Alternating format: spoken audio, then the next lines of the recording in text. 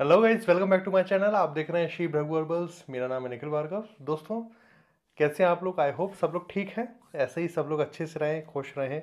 यही मेरी भगवान से दुआ है। दोस्तों, आपको एक चीज़ बताना चाहता हूँ कि मेरा चैनल जो है वो डे बाय डे ग्रो हो रहा है, वो हो रहा है आप लोगों की वजह से और आप लोगों का इसमें बहुत बड़ा रोल है दोस्तों। तो आपको कोई भी प्रॉब्लम है, कोई भी चीज़ के बारे में आपको पूछना है, कैसा भी आपको प्रॉब्लम है, किसी सी भी चीज़ का डाउट है माइनर से माइनर डाउट है, आप मेरे से बेचक पूछ सकते हैं। यही चीज़ के लिए मैं आप लोगों को फैसिलिटी प्रोवाइड करवा रहा हूँ कि आप गलत चीज़ों पे ना जाएँ। आप, अगर आपको किसी चीज़ का भी डाउट है इवन मेरे से भी, अगर आपने कोई चीज़ मेरे से परचेज़ की है, उसके बारे में भी अगर आपको कोई डाउट है तो आप मेरे से बेहिचक पूछ सकते हैं, क्योंकि मैं बैठा हूँ आप लोगों को डाउट क्लियर करने के लिए। जितने भी आपके डाउट्स हैं, उन सभी को क्लियर करने के लिए मैं यहाँ हूँ, और आप लोगों का सपोर्ट दिन पे दिन बढ़ते जा रहा है। दोस्तों, उसके लिए बहुत बहुत थैंक यू बहुत बहुत धन्यवाद। सबसे बड़ा सपोर्ट आप लोगों का होता है, दोस्तों, जितना भी अगर मेरा एक परसेंट भी मेरे व्लॉग्स में अगर इंक्रीमेंट आता है या मेरे सब्स में इंक्रीमेंट आता है तो मेरे को अच्छा खासा मोटिवेशन मिलता है और मैं हमेशा मोटिवेटेड रहता हूँ सिर्फ़ आप लोगों की वजह से। तो आप लोग मेरे को हमेशा मोटिवेट करते रहें और आपकी मैं हेल्प हमेशा करते रहूँगा। ये मेरा प्रॉमिस है। सो so, दोस्तों आज का ब्लॉग फोकस है क्लासिकल मेडिसिन चल रहा है दोस्तों।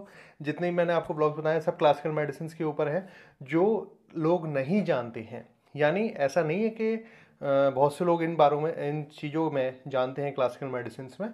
तो मैं उसी चीज़ को आप लोगों के सामने लाता हूँ और पुरानी से पुरानी जो भी मेडिसिन होती हैं पुरानी से पुरानी जो भी बीमारियाँ होती हैं उन सभी को ख़त्म करने में क्लासिकल मेडिसिन काफ़ी अच्छा काम करती हैं।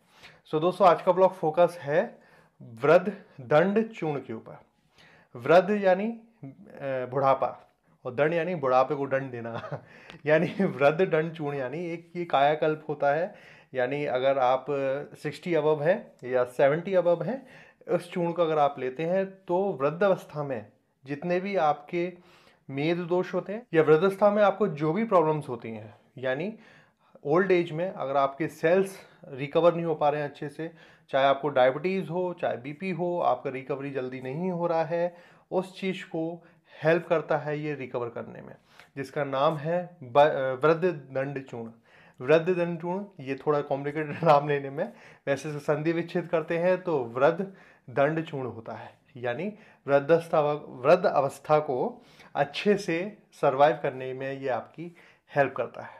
तो वृद्ध चंड के बारे में आज हम जानेंगे दोस्तों, इसके घटक के बारे में जानेंगे, इसमें क्या क्या डलता है, किस प्रकार से बनाया जाता है, ये भी मैं आपको ब्लॉग्स बताऊँगा दोस्तों। पर उसके लिए आप लोगों को एक कमेंट करना पड़ेगा, जितने ज़्यादा कमेंट्स उसके हिसाब से मैं ये ब्लॉग्स तैयार करूँगा।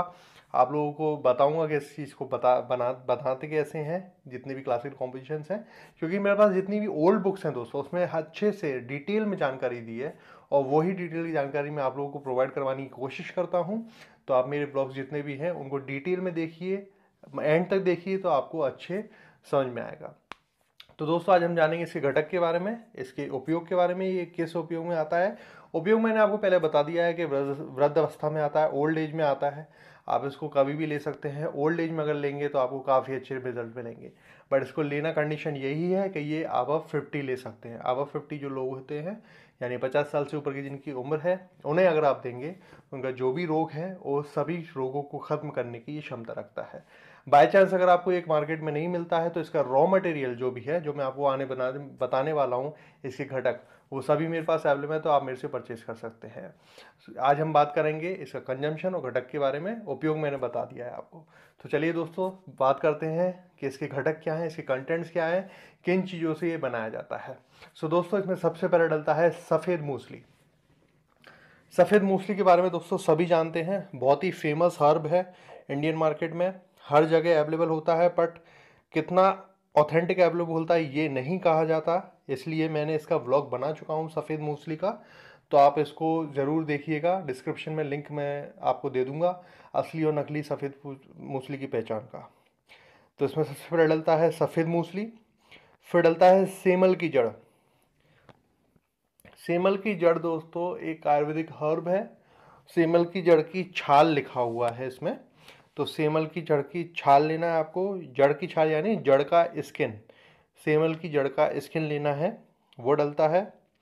फिर डलता है गिलोसत्व फिर डलता है आंवला कौच बीज डलता है, मिश्री डलता है और फिर एंड में डलता है गोखरू। अब गोखरू भी दोस्तों दो प्रकार का आता है। गोखरू जो आप नाम सुनते हैं तो ये इसमें भी दो प्रकार के आते हैं। एक छोटा गोखरू और एक बड़ा गोखरू। गोखरू जो छोटा होता है, वो यूरिन संबंधित, यानी आपके पेशाब संबंधित जितनी बीमारियाँ होती हैं, आपकी किडनी के लिए हिसाब काफ़ी अच्छा है। तो ये गोखरू इसमें नहीं डलेगा। इसमें डलेगा दक्षिणी गोखरू, यानी बड़ा गोखरू डलता है, जो बलवर्धक होता है, वीर स्तंभन होता है, आपका सीमेंट बढ़ाने में काम करता है। तो इसमें बड़ा गोखरू डलता है। घटक में आपको दोबारा बता देता हूँ, दोस्तों फिर सबसे पहले डलता है सफ़ेद मूसली। सफ़ेद मूसली आप जानते हैं, ये डलता है। फिर डलता है सेमल की जड़ की छाल। या सेमल की जड़ भी मिल जाए तो कोई प्रॉब्लम नहीं है, आप वो भी डाल सकते हैं। गिलो सत्व डलता है, यानी गिलो का सत्व। आंवला डलता है, कौच बीज, मिश्री और बड़ा गोखरू। बड़ा गोखरू यानी छोटा में से आपको बड़ा गोखरू लेना है, वो डलता है। दोस्तों, इन सभी घटकों को मिला के वृद्ध दंड चूर्ण का निर्माण किया जाता है, यानी वृद्ध चरण चूर्ण को बनाया जाता है। इसको आप बनाने का प्रोसेस अगर आप चाहेंगे तो मैं आपको ज़रूर बताऊँगा। नीचे कमेंट्स करके बताइए, उसका सेपरेट ब्लॉग में बनाऊँगा। चूर्ण के काफ़ी अच्छे फ़ायदे हैं दोस्तों, आपकी वृद्ध अवस्था में, यानी आपकी एज फिफ्टी अब है तो आप इसको ज़रूर लीजिए। अब इसका बात करते हैं कंजम्पशन इसको लेना कैसे है? दोस्तों, इस चूर्ण को आप लीजिए सिंपल दूध के साथ। दूध से लेना है, और जो लोग लैक्टोज इंटॉलरेंट हैं, यानी जिन्हें दूध नहीं पचता है तो आप इसको पानी से भी ले सकते हैं। बट अगर आपको लैक्टोज इंटॉलरेंट नहीं हो, आपको दूध पचता है तो आप इसको ज़रूर दूध से लीजिएगा, क्योंकि ये दूध से काफ़ी अच्छे लाभ देगा। तो वृद्ध, दंड चूर्ण, आप दूध से लीजिए खाना खाने के बाद, सुबह, शाम, आधा आधा चम्मच, यानी हाफ़ टी स्पून लीजिएगा दोस्तों। हाफ़ टी स्पून अगर लेंगे, आपको अच्छे रिज़ल्ट लेंगे, क्योंकि कहते हैं कि good things come in small quantity अच्छी चीज़ें जो हैं, वो कम मात्रा में आती हैं। तो आप उसको अगर अपने शरीर में छोटी छोटी मात्रा में देंगे तो आपको काफ़ी अच्छे स्वास्थ्य लाभ होंगे। आपकी जो भी सेल्स हैं, आपकी जो रिकवरी है, अगर नहीं हो पा रही है तो इस चूर्ण से, इस क्लासिकल कॉम्बिनेशन से आयुर्वेदिका की, उसमें आपको हेल्प करेगा।